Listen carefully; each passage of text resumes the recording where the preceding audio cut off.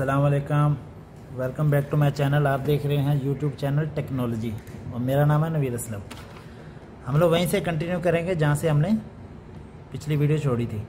पिछली वीडियो में हमने देखा था कि इसको कनेक्शन कैसे करना है और कैसे स्टार्ट करना है, इसके लिए कौन सा कैपेसिटर चाहिए और ये सब चीज़ें हमने देख ली। अब हम इसको कनेक्ट करेंगे सिलेक्टर स्विच के साथ। ये हमारे पास सिलेक्टर स्विच है। विंडो एसी पल का। तो पहले, सबसे पहले हम लोग सिलेक्टर से चेक करेंगे। इसको चेक करने के लिए कि कौन सी केबल किधर किधर लगेगी, इसके पॉइंट पूरे काम करते हैं, नहीं करते। उसको चेक करने के लिए हमें चाहिए मल्टीमीटर मल्टीमीटर आ गया और इसको हमने सेट कर लिया है कंटिन्यूटी पे।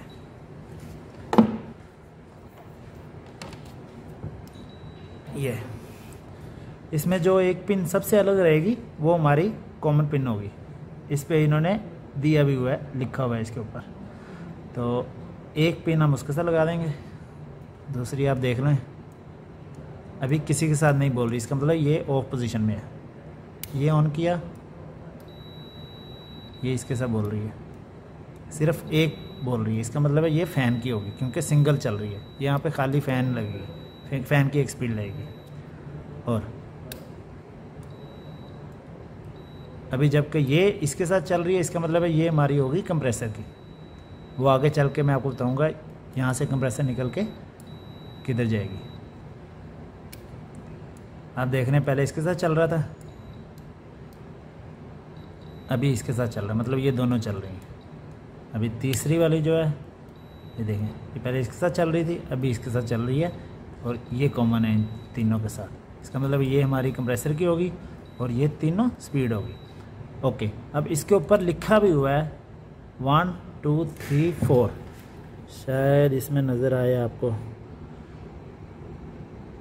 ओके ये आप थर्मास्टेट खरीदेंगे, उसके ऊपर लगा भी होगा। वन टू थ्री जो है, ये हमारी स्पीड है और चार नंबर जो है, ये हमारी कंप्रेसर की है। तो हम लोग इस पर देखेंगे हमारी मेन स्पीड कौन सी है। हाई स्पीड कौन सी है लो कौन सी है और मीडियम कौन सी है, ये आप देखें।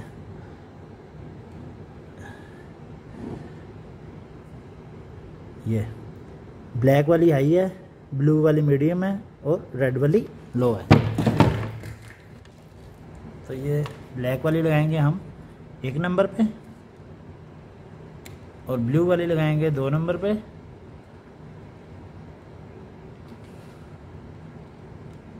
और रेड वाली लगाएँगे तीन नंबर पे। और उसके बाद ये जो एक केबल है हमने, इसके साथ लगाई थी येलो के साथ लाइन और एक हमारी लग जाएगी सीधी सिलेक्टर स्विच के साथ। अभी हम इसको ऑन करेंगे। ये हमारी मोटर स्टार्ट होगी अभी तीनों स्पीड चेक करेंगे। ये लो है, ये मीडियम है और ये हाई है।